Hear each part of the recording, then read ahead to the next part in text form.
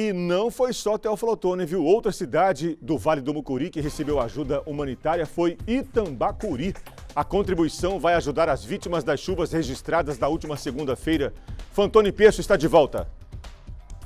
Saulo, a cidade de Itambacuri também se recupera dos efeitos causados pela tempestade da noite da última segunda-feira. Só para você ter uma ideia, parte da cidade ainda não tem energia elétrica, não tem abastecimento de água, não tem sinal de telefonia, então as condições são bastante precárias. As operadoras, as instituições uh, trabalham para tentar restabelecer a energia elétrica, o abastecimento de água.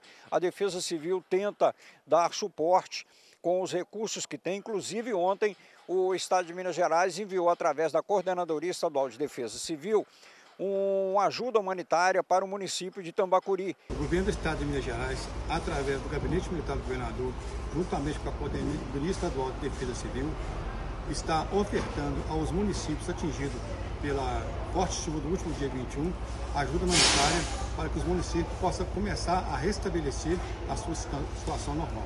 A coordenadora municipal de defesa civil, a Marilza, ela recebeu essa ajuda que será destinada às pessoas que foram atingidas. A Defesa Civil Municipal de Tabacuri, através da sua coordenadora Marilza Machado, agradece ao Sargento Teófilo pelo empenho em nos fornecer ajuda humanitária através da Defesa Civil Estadual e ao governo estadual.